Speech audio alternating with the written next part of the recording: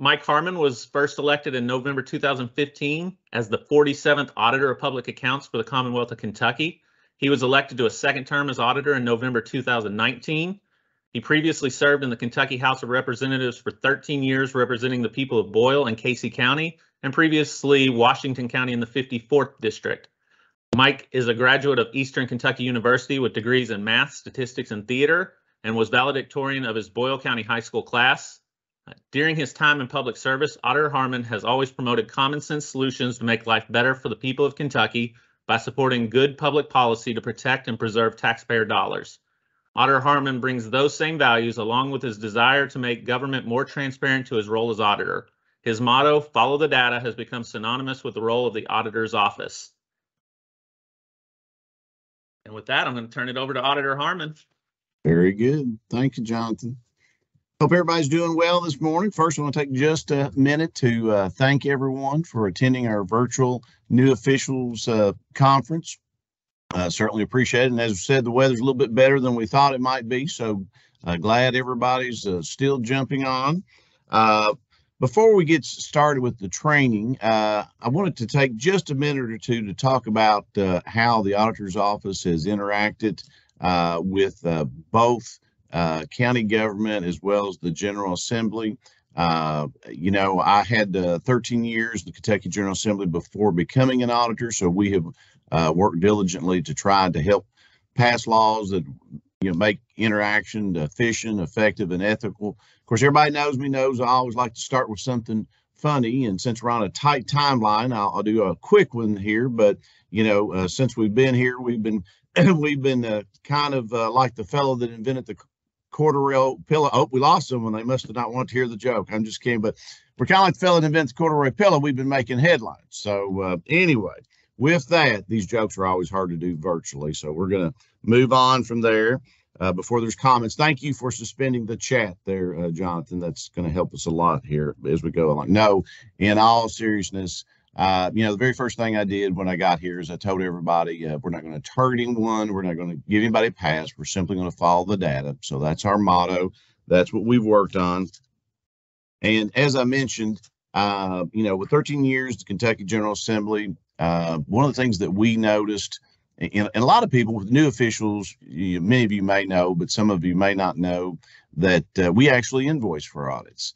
Uh, we do about 600 audits per year, and uh, you know, really the lion's share of our budget uh, is from uh, basically invoicing for those audits. So anything we can do to kind of lower uh, that cost and still be efficient, effective, and ethical, we've worked to try to do that. So, kind of give you a, a little bit of uh, some of the things we've worked with. In last session, uh, we worked with the Kentucky General Assembly to uh, work to appropriate some additional funding to offset some of that. Uh, we actually had appropriated a total of five and a quarter million dollars. 4.5 million of that uh, was basically so that uh, you know the two-year budget starting July 1st, 2022 uh, we received the 4.5 million in addition to general funds or additional general funds uh, to cover uh, the two year, the next two budget years.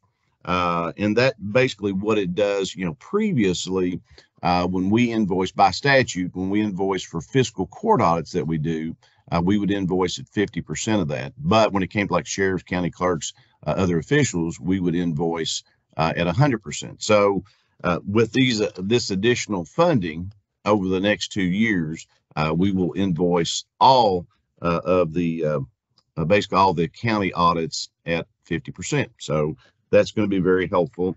The other thing, and of course, many of the counties are already seeing these savings on uh, invoices that were sent after July 1st of this last year for county clerks and for the sheriff's audits. Now, uh, the other part of that was $750,000 that was appropriated, uh, 500 thousand in the first year of the biennium, 250,000 in the second year of the biennium, that for our outlier audit assistant program, and that's set up to basically assist uh, counties that uh, you know may have had some situations with their audit costs for your sheriffs or your county clerks. Uh, maybe they had something going on. Uh, they had some paperwork that wasn't as put together as well, and it took us some extra time, or for whatever reason. Sometimes there are some reasons that would cause it. So what it does, the outlier audit assistant program is set up to assist counties with the cost of sheriff or clerk audits with costs that are more than 150% of the average cost for that particular type of audit. Now, after the county pays up to the 150% threshold, the county will receive a credit from the program funds to cover the rest of their bill. Now, certainly we're thankful to the members of the uh, General Assembly for supporting the additional funding, uh, which certainly will help reduce the cost uh, for local governments while still maintaining the important role of the auditor's office in assuring accountability to the taxpayers. Now, that kind of investment we really consider to be kind of a win-win for everybody. Now, another cost savings that we worked on uh, was uh, Senate Bill 144 that was passed in the 2018 session. And that's what we called our AUP bill or agreed upon procedure bill.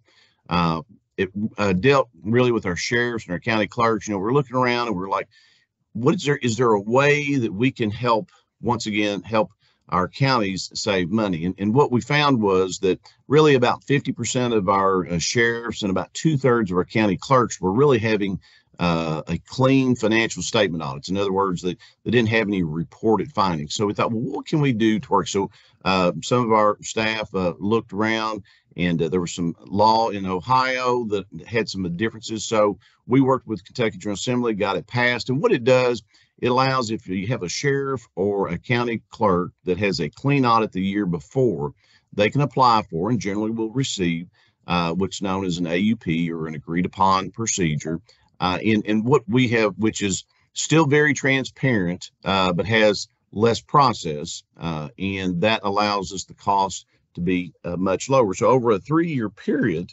uh, 2018, 2019, and 2020, we've seen a total of one point, a little over 1.3 million dollars in total savings.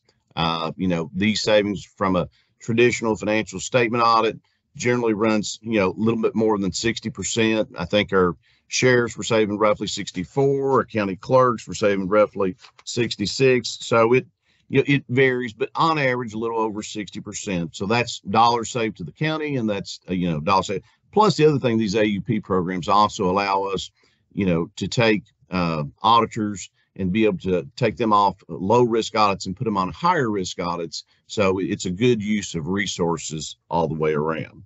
Now, finally, the Another bill that we worked on, uh, cost savings, was House Bill 265, which deals with the sheriffs who receive multiple tax settlement audits, uh, consolidating all of those audits into one single audit engagement. So, for example, while our office conducts a fee audit for sheriff's operating budget, we also do separate audit work for uh, tax collection, and every sheriff receives a tax audit for regular real estate but historically, many of them have received additional separate audits for other individual categories uh, if it collected amounts for that were high enough. You know, in other words, they were material in nature and high enough, including audits for gas and oil, unmined coal taxes, and also sand and gravel taxes. So, what House Bill 265 did is it took effect in January of 2022, meaning those sheriffs who used to receive multiple tax settlement audits will instead receive one annual audit of all the property tax. So hopefully we're going to see some savings in that as well with those efficiencies. So those are just some of the examples uh, that we have worked with uh, here, working with counties, working with Kentucky General Assembly. And, uh, you know, primarily what we do here is we work with county governments and we work with state agencies and we do a little bit other stuff too, do special exams and things like that. But primarily we audit county governments and state agencies. And so once again, thank you all so much. Uh, if you ever want to see any of the past audits, certainly you can go to auditor.ky.gov and uh, search past audits there. Uh, appreciate you. Look forward to the rest of this day. And if anybody ever has any questions of me, just let me know. And uh, currently, I'm going to turn it over to Farrah Petter, who is uh, my assistant state auditor, and she does a fantastic job. And, and uh, I know you all will enjoy. Thank you all. Thanks, Farrah. All right, Farrah, before you get started, I only have one job here today, so I, have got to announce the bios. I, I don't want to miss somebody's bio today. So Farrah is going to be doing our, our first topic today. You can see it popping up on your screen. You should be able to. Uh, it's what is an audit. We thought that would be appropriate to get the day started with. And I want to tell you a little bit about Farrah, but I also see that there's some hands that have been popping up in the uh, uh, the group in the chat. So if you are having issues, remember uh, we're not going to be able to help you online here. You'll need to email our APA.qualityassurance email address. Or if you can't find that, you can respond to the meeting invite I sent you and I will help you out. So if you're having trouble with anything, send it to there.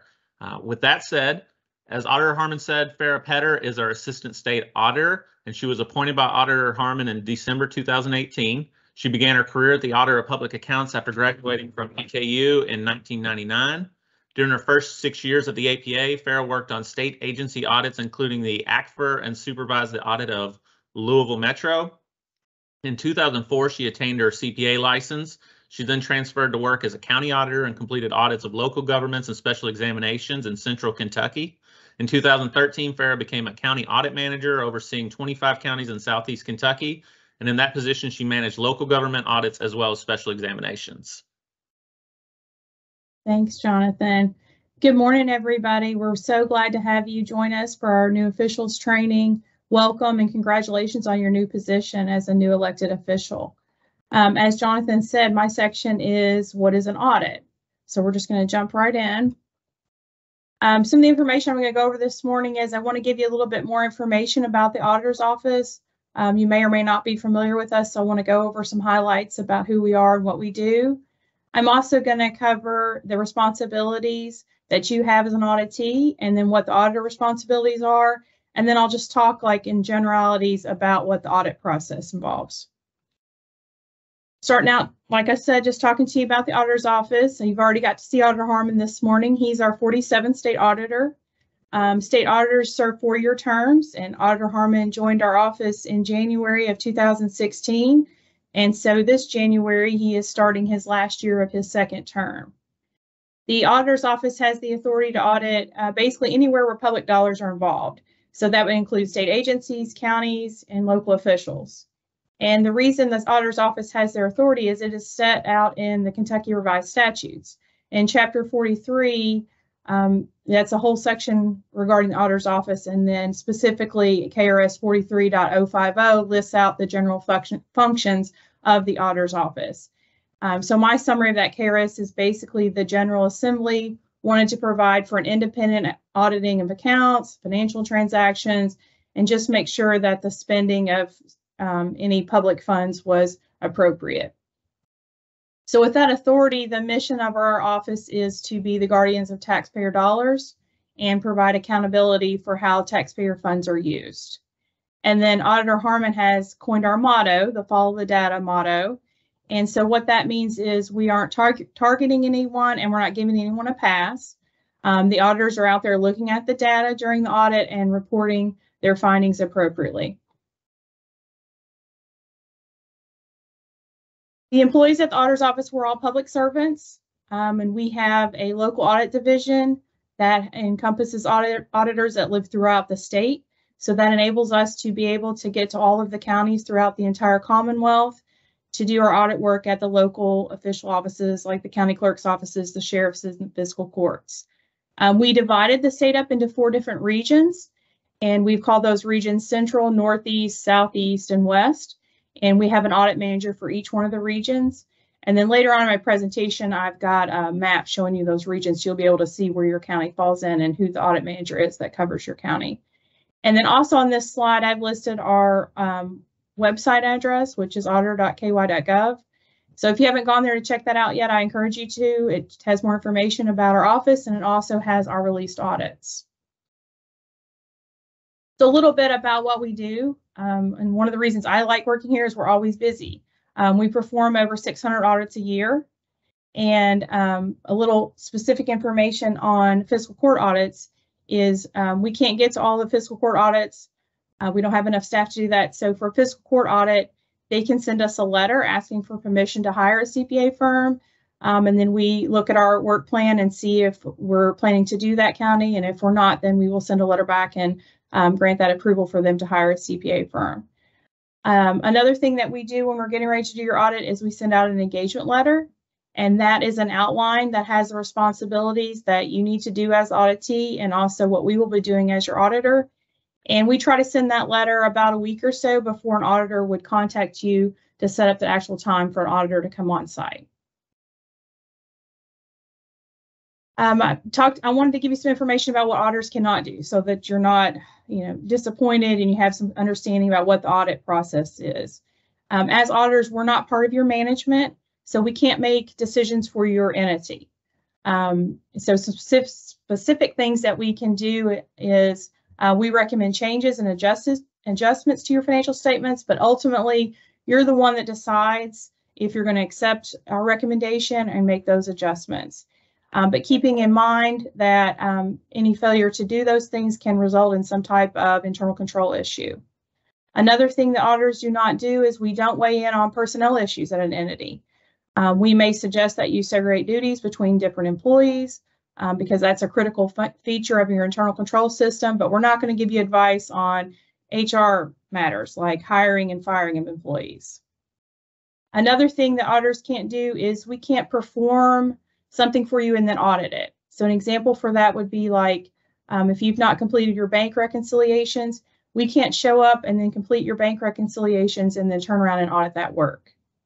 And then another reminder is that as auditors, we're not part of your internal control system. Uh, you can't rely on auditors in your audit to prevent and detect material errors or fraud. So what exactly is an audit? Um, I thought I would start out with talking about the definition of an audit. So an audit is an engagement that's looking at the entity's financial records and giving an opinion on that financial statement. And the time period for an audit is fixed, and there's only a few exceptions where the actual time period of your financial statement will be different than the audit period. And in addition to giving that opinion on the financial statement, we are also required by government auditing standards to perform some procedures to evaluate your system internal controls, and then report on any problems that we might find in those internal controls. And then also we're supposed to report on any noncompliances that we see with applicable laws, regulations, grant agreements, and contracts. The audit's going to start with your fourth quarter report that you submit to DLG. That's your financial statement. Um, so it's really important that you make sure that that's accurate and agrees to your underlying records. Also, an important part of your audit is going to be the notes to the financial statements, and these are important because they give more detail to the information that you have on your financial statements. And the Department of Local Government is the regulator for all of you that are on the regulatory basis, which should be everybody but about four counties.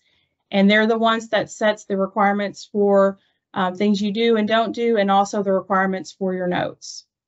Um, again, the objective of the audit is that expression of an opinion on whether the financial statements are fairly presented. And we're looking at that in a material aspect.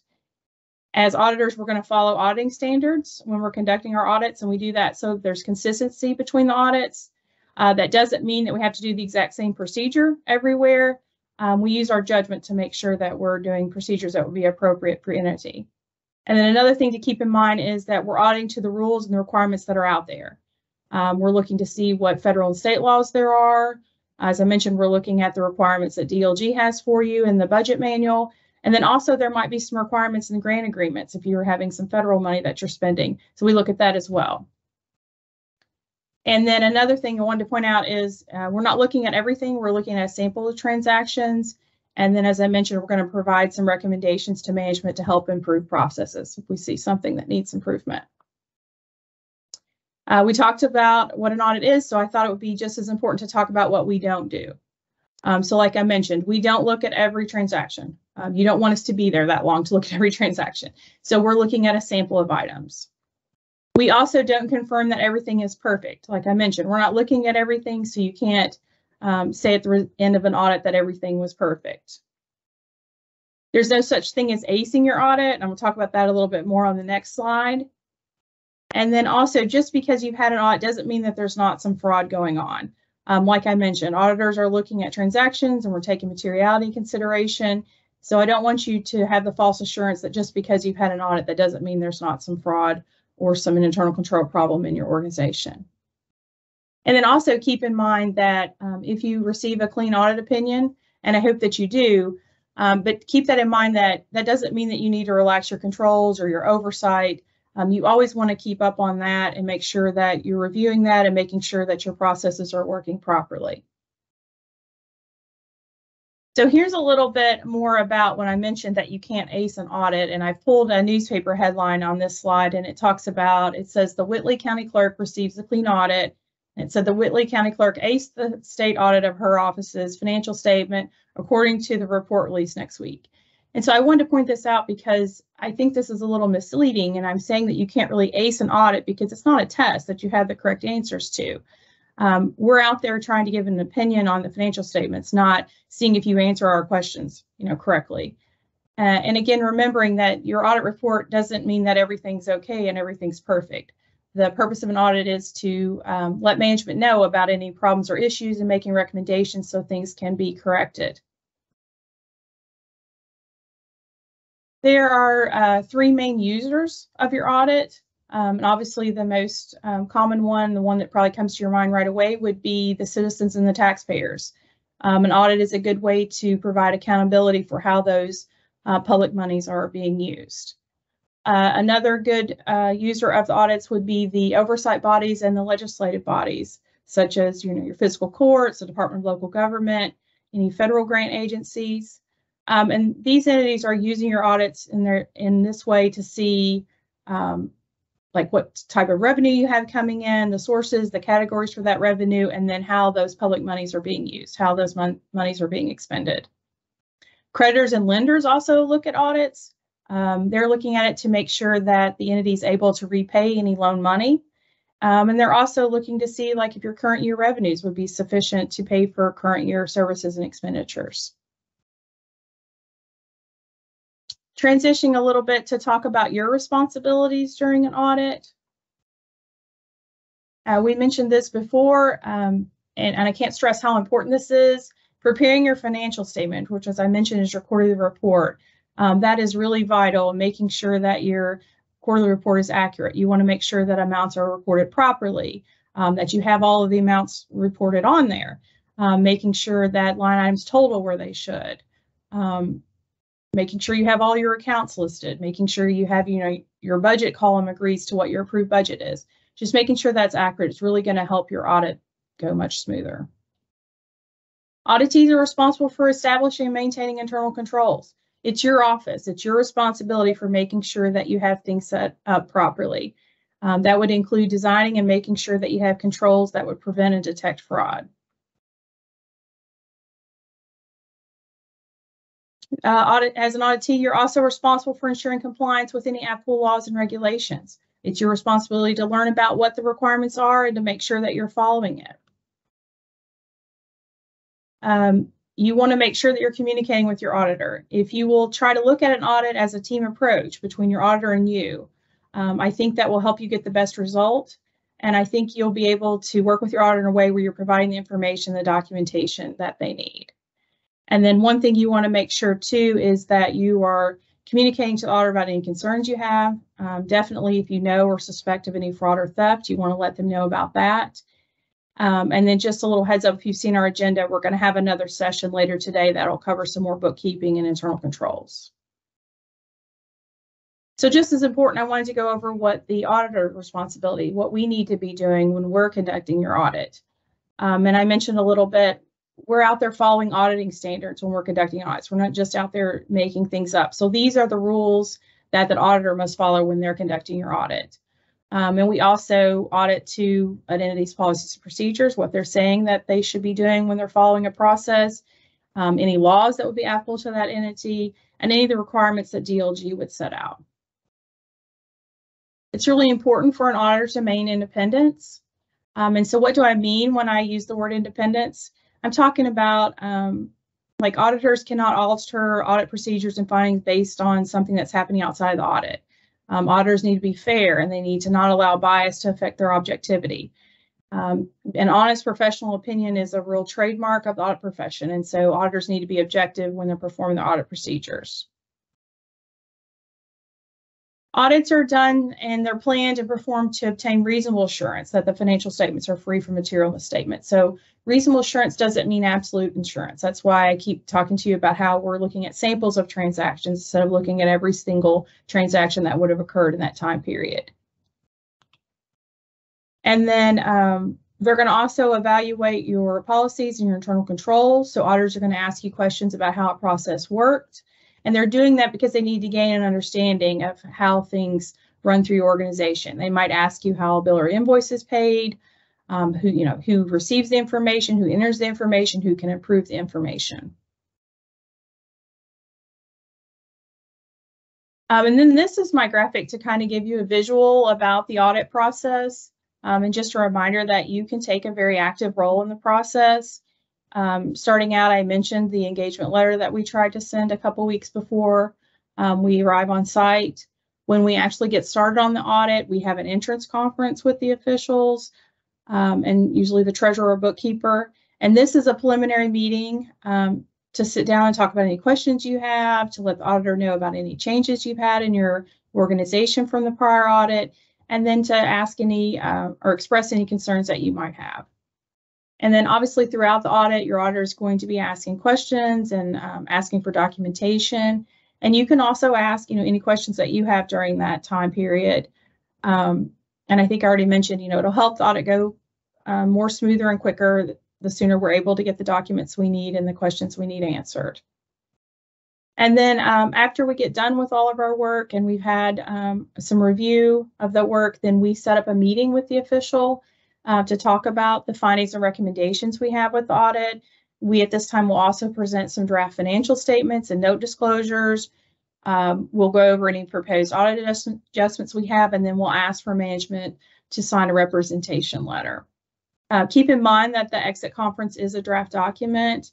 Um, the findings could change based on the response that management provides. In the rare circumstance, sometimes they provide some additional documentation or inform information that we didn't have when we were doing the work. Um, so keeping that in mind, that's not something you want to take and you know share with your fiscal court. Um, and you'll also have an opportunity to respond to all the findings. And then just letting you know that um, if one of the findings is in the report, we present management's response exactly how it is presented. We do redact names, but otherwise uh, we present whatever they've written. Later on in the day too, we've got another speaker that's going to go over a little bit more about the logistics of audit process and how you can even prepare for that audit. This is a slide I mentioned earlier, um, and Jonathan will work on getting all this information out to you, but I wanted you to have a visual. I mentioned that we broke the state up into four branches, and so here's that visual, and it shows you our four different branches. It lists the audit manager, and you can see where your county falls in there. Also, just as important, this slide is the uh, information we have for you to contact anyone that you need to um, in our audit managers, like whichever audit manager is over your county. And then it has my information, your executive director, uh, Jim Royce, and then our quality assurance manager. So that uh, wraps up my presentation. I thank you all very much for your attention, and I think you'll really enjoy today. We've got a lot of good information. So I'll turn it back over to you, Jonathan.